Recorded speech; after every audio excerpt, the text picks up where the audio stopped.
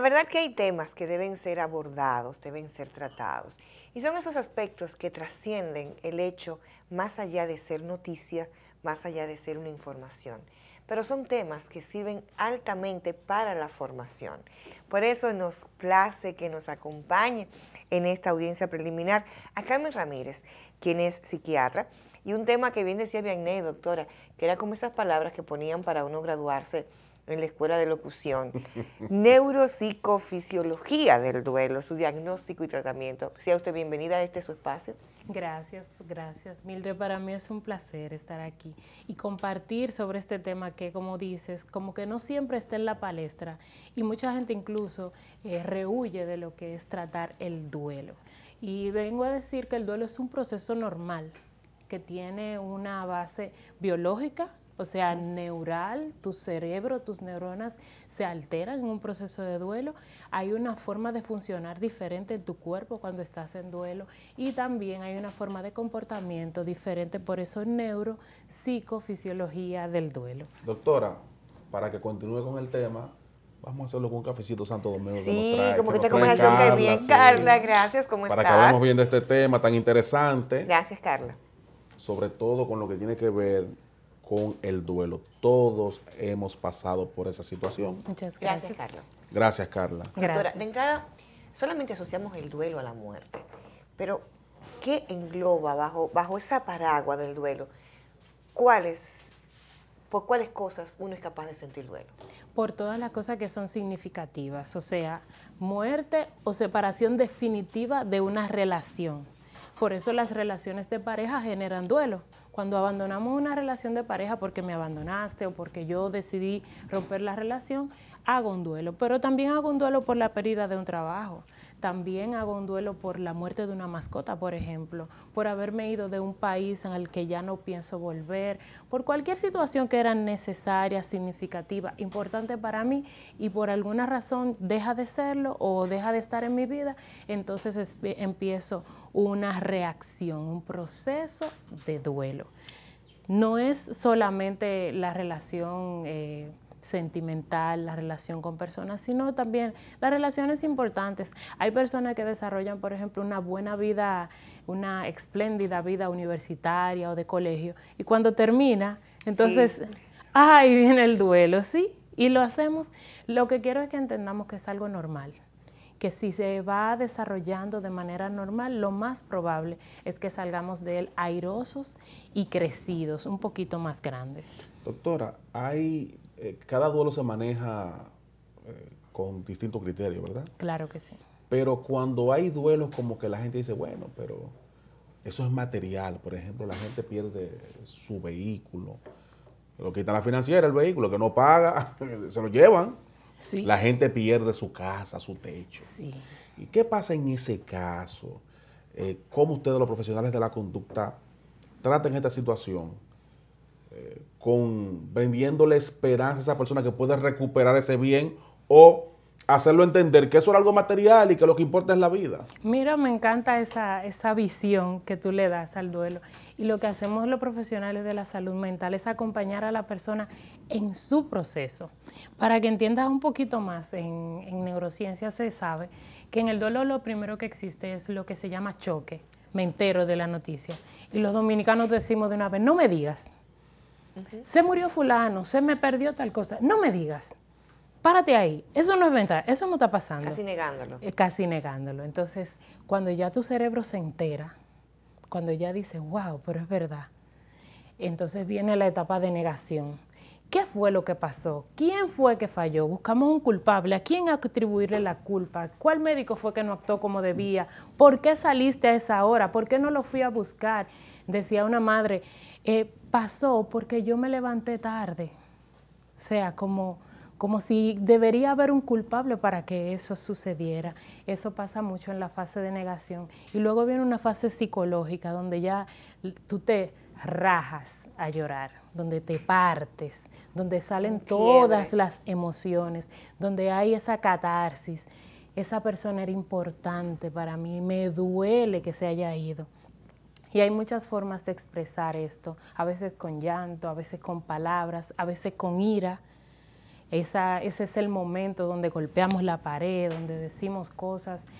Y después de que sale todo ese sentimiento, como que embriaga todo nuestro psique, viene un momento como de razonamiento, que es esa negociación donde yo digo, es preferible que haya muerto a esta edad y no que le haya pasado tal y tal cosa. Mira, murió de, así de, imprevisto y, me, y creo que es mejor porque no, eh, no tuvo que pasar una cama muy larga. Ella no era una persona que lo iba a soportar. Y ahí es que viene él, mira. Pero eso es una justificación. Una justificación al dolor. Es una, justificación. Al dolor. Cuando yo misma me la doy, no cuando te la da el otro, sino cuando yo misma me digo, bueno, me robaron el carro, pero no me hicieron nada, mi vida yo la tengo, yo puedo tener otro vehículo. Se quiere como reencuadrar el hecho. Exacto.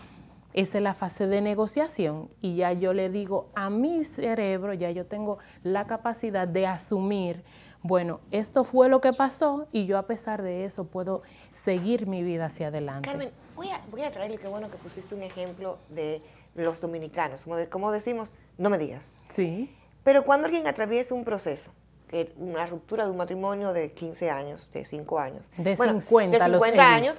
Bueno, vamos a, vamos a imaginarnos, y me encantó la frase que me regalaste, una relación o algo que sea significativo para ti. Que te diga, por ejemplo, un perrito. Gente que hace un duelo pues el pedo un perro. A mí no me gustan los animales. Yo diga, pero tú estás llorando por un perro. Tú te Eso es una falta de respeto a la persona. Ahí va el tema. Cuando ahí quiero llevarte a ese momento que uno quiere acompañar y alguien muere y le dice, pon de tu parte. Ay. No llores, tienes que ser fuerte, porque Él espera de ti que tú seas fuerte. Eso en términos de asistencia, ¿cómo debe ser ese acompañamiento? Eso es contraproducente. O sea, si quieres acompañar a alguien a la funeraria, a su casa una tarde, porque ha perdido algo significativo para él, lo que esa persona espera es que tú digas, estoy contigo. Ya vine para acompañarte, estoy contigo. Mientras menos, mejor. Mientras menos opines, mientras menos hables, es mejor. A mí, por ejemplo, me gusta eh, reconocer o recordar a la gente en sus buenos momentos. Pero eso es a mí. Si yo voy a tu, al funeral de un familiar tuyo y te empiezo a hacer chistes de la persona, es probable que tú te sientas ofendida pero es a mí, mi duelo me gusta de esta manera o me siento bien haciéndolo de esa manera. Prefiero recordar a mis seres queridos de esa manera. Lo que conviene es que yo vaya a tu, a tu duelo, a acompañarte, a ponerme a tu lado, no a querer impedir lo que tú sientes, lo que tú haces, lo que tú vivencias. Todo lo que pasa durante el duelo debemos permitir que sea. Y me voy un poco más. En nuestro país se usa que hay que sedar a fulano porque él no puede llorar mucho. Llorar es un acto normal de las personas. Eh, que hay que esconderle la noticia a fulanita porque ella no va a resistir. Claro que sí, que va a resistir. Quizá la forma en que usted se lo diga le, dañe más, le agreda, pero va a resistir que tú le comuniques lo que está pasando con esa persona importante para él. Y luego, ¿cómo, ¿cómo, le explicamos a ese fulano que han pasado días y su hijo importante, su hijo querido, no lo ha llamado? ¿Cómo se lo explicamos? Empieza esa persona a vivir un preduelo y a tener problemas y conflictos, a dejar de dormir, para luego, como quiera, ¿cómo reponemos a una persona muerta? ¿Por qué lo podemos esconder?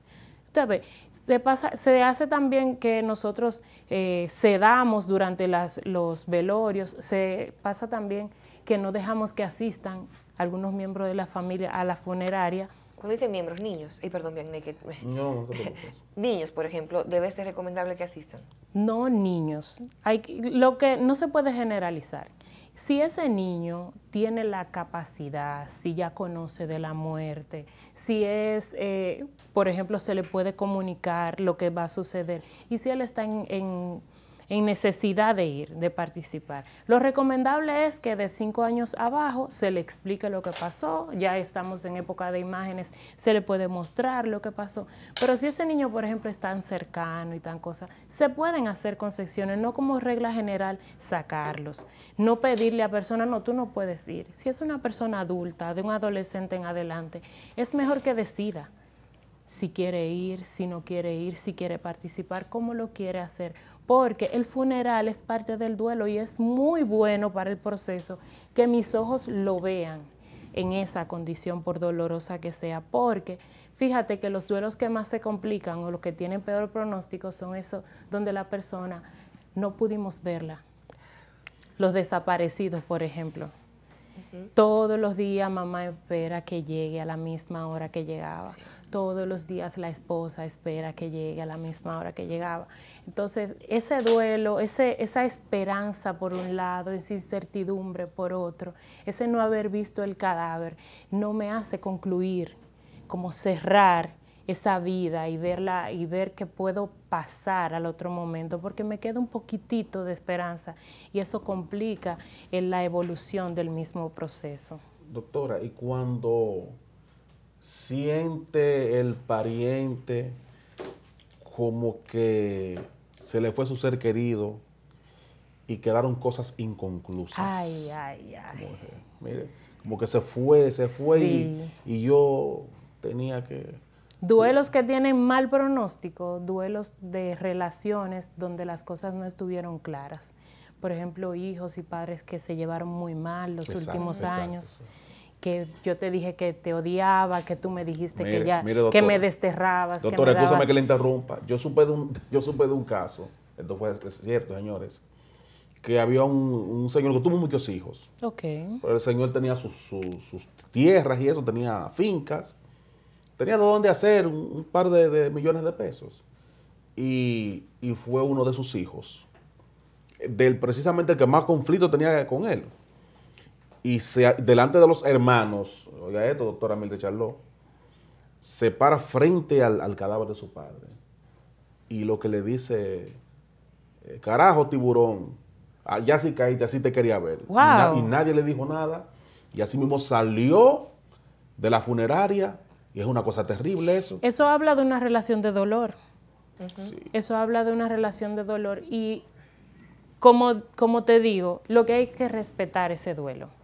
Esa relación llevaba ese curso, llegó al momento en que él pudo expresar una cosa que parece tan fea como esa, que solamente dice, mira, ahí había una relación de dolor. Y esa persona lo que pudo vocalizar fue eso. Hay que ver qué pasó después de eso, hay que ver qué pasó antes. Hay duelos también que se complican no solamente por la relación que llevaban, sino por, por ejemplo, la dependencia. Cuando muere no mi pareja, sino mi sustentador. Murió mi pareja y mi sustentador también. Cuando muere, por ejemplo, la persona que tomaba las decisiones por mí, ya yo no tengo quien decida por mí. Entonces, si yo soy una persona que no soy autosuficiente y muere mi amiga, la que decía lo que yo tenía que hacer, entonces también murió mi brújula. Y eso tiene más probabilidad de complicarse. Cuando muere una persona que, que tenía como ese, en toda la familia hay como un, pequeño, alguien como que no llegó a, a su máximo esplendor. Entonces muchas veces sobrevienen sentimientos de culpa porque en las, en las familias se suele pensar como, o se suele vender la idea de que tú tienes que hacer que los demás suban, no que ellos suban por su propio esfuerzo. Hay un aspecto, doctora, ¿cuándo podemos pensar que un duelo, si cabe el término, tienes toda la libertad de decirme que, de, corregirme, ¿no? Que un duelo es normal y cuándo podemos pensar que un duelo se convierte en patológico. Un duelo normal hablamos de dos semanas a seis meses y están excelentes los términos, así se dice. Duelo normal, dos semanas, em, eh, todo el dolor, todo el proceso. Estuve chocada, estuve negada, luego eh, tuve días, horas de llanto, de expresiones de dolor y al final empecé a buscarle como el sentido a la vida sin esa pieza que ya no está. Eso puede pasar de seis semanas, eh, de dos semanas a seis meses. Ahora, cuando pasamos de seis meses, que todavía estoy buscando justicia porque esa persona no debió morir, que todavía no me integro a mi vida, a mi vida de pareja, a mi vida de madre, a mi vida de trabajadora, a mis roles dentro de la comunidad que me desarrollo, porque tengo que dedicarle horas al llanto, ya sea a buscar eh, esa, esa salida que yo quería que fuera, no la que es entonces estamos hablando de un duelo complicado. El duelo complicado, para que veas, no es solo la depresión, que se parecen mucho, depresión y duelo. Sí. la depresión es tristeza, llanto, falta de sueño o demasiado sueño. La gente cuando está en duelo baja de peso porque hay hormonas que se alteran eh, y todos esos cambios en el ánimo y en el cuerpo pueden pasar y pueden convertirse como pasar del duelo a la depresión. Pero también puede pasar el consumo indebido de sustancias. Hay gente que después que se murió fulana, él no ha soltado una botella. Sí. ¿Verdad que sí? Entonces, o antidepresivos muchas veces. Los antidepresivos, pero también hay sustancias de abuso que están allí en la casa, que están disponibles para todos y que no sabemos qué pasó con fulano, que ya la vida como, como que no la ve con todos los colores. También puede pasar que hay gente que dejan su vida en totalidad. No cumplen criterios para depresión, pero dejan todo.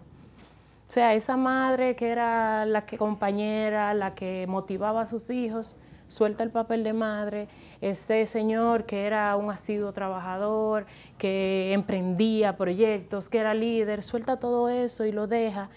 Y se ve como eh, retardado, como aletargado, fuera de todo el contexto que antes del duelo dominaba. Y esas pueden ser fases, como maneras de complicaciones de duelo. Doctora, cuando no se puede despedir al ser querido, por cualquier razón, eh, sobre todo por, en, en algunos casos que el pariente no vive en el país y no pudo hacer el vuelo eh, ese dolor que le queda. No pude despedir a mi papá, a mi mamá, a mi hermano, a mi hijo. Explíquenos esto. Le tengo una buena noticia. Donde quiera que esté tu ser querido, tú lo puedes despedir. Lo hayas visto o no lo hayas visto. El día de hoy tenemos la ventaja de que las redes sociales nos permiten mandar imágenes y tu cerebro puede captar esa imagen. Pero donde quiera que esté, y si no te pediste a fulanito que murió y que no, no te diste la oportunidad de despedirlo, aunque estaba cerca, sí lo, puede, sí lo puedes hacer. Puedes decir, eh, concentrarte, encerrarte en un lugar donde te sientas seguro, donde no te vayan a interrumpir y conectarte con ese sentimiento, con ese recuerdo de esa persona que era importante para ti y darle las gracias a la vida porque te dio tantos años, una relación que tú vivenciaste como una relación importante para ti, y decirle, yo me alegro que hayas estado aquí y ahora me duele que te hayas ido. Eres una parte importante con tus palabras y despedirlo. Muchas veces en el consultorio hay que hacer que la gente haga esto. Hacer ese, ese duelo. ¿Y cómo se sana la gente de eso? Carmen, cuando se maquilla el duelo. Ay, ay. Cuando digo, bueno, eh, eh, bueno, hay que salir para adelante, en el caso de las parejas hay, un, famoso refrán, que el refrán no es más que una creencia colectiva, que dice un clavo saca otro clavo. En el caso, eh, por ejemplo, a veces cuando alguien pierde un hijo, bueno, pero piensa en los otros tres hijos que tú tienes, ¿no? Tienes que echar para adelante por ellos. Cuando ese ser humano decide maquillar sus emociones, maquillar su dolor para aparentar ser funcional. Entonces viene la prolongación del proceso. Es como que tú vayas de primero de bachillerato, hayas decidido parar, no te vas a graduar cuando pasen los cuatro años. Tú tienes que vivir el proceso de duelo y muchas veces lo hacemos por miedo al dolor.